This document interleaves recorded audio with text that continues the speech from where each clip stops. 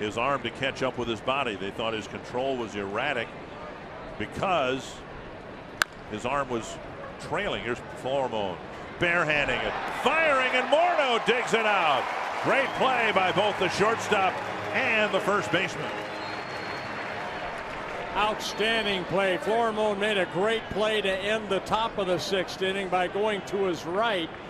This one here, oh, just over the reach of Doman. He can't get it. Bare hand, a nice pick over there by Justin. So all around, great defensive play.